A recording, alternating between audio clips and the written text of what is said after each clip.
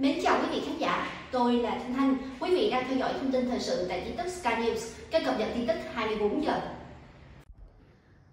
Bi hảo hảo bị Ireland thu hồi vì chứa chất có thể gây ung thư. Ascoop Việt Nam nói gì?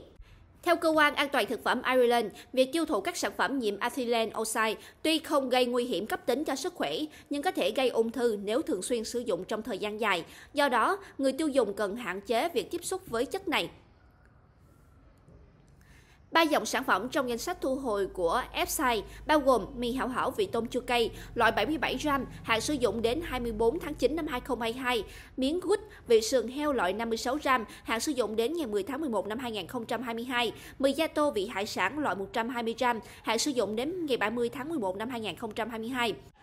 Hai sản phẩm là mì hảo hảo và miếng gút do công ty Ice Cook Việt Nam sản xuất, sản phẩm còn lại có xuất xứ từ Trung Quốc.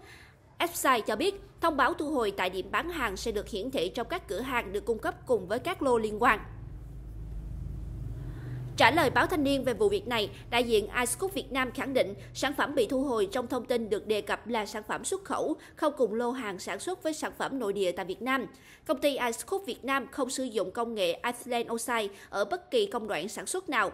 Hiện chúng tôi đang tiến hành phân tích, kiểm tra và điều tra trên diện rộng ở các nguyên liệu, thiết bị, quy trình liên quan để nhận định nguyên nhân và sẽ có biện pháp đối ứng kịp thời, hữu hiệu nhằm đảm bảo chất lượng sản phẩm và an toàn cho sức khỏe người tiêu dùng. Đồng thời, chúng tôi cũng đã làm việc với các nhà cung cấp nguyên liệu và nhà cung cấp cũng khẳng định không sử dụng ethylene oxide trong quy trình sản xuất của họ. Chúng tôi đã yêu cầu họ kiểm soát và tuyệt đối không sử dụng công nghệ ethylene oxide trong quy trình sản xuất, tuyệt đối thực hiện đúng theo các cam kết này với Ascoop Việt Nam. Ascoop trả lời.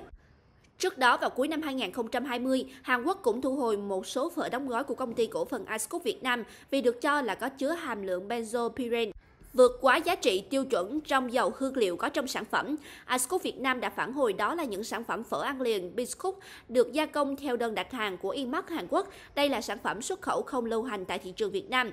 Thời điểm đó, đơn vị này còn thông tin từ quá trình rà soát, hãng phát hiện chất benzopyrene phát sinh từ thảo quả sấy khô, một loại nguyên liệu gia vị thô được sử dụng trong gói dầu của sản phẩm phở ăn liền, chứ hoàn toàn không phát sinh trong bất kỳ công đoạn sản xuất sản phẩm nào của nhà máy Ascook Việt Nam.